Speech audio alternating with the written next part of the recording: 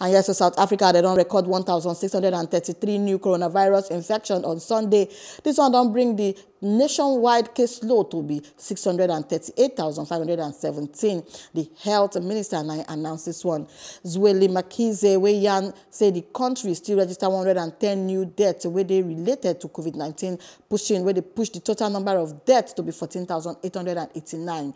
The minister said the country don't recover rate don't stand on top 563,891 and where they translate to recover rate of 88 percent.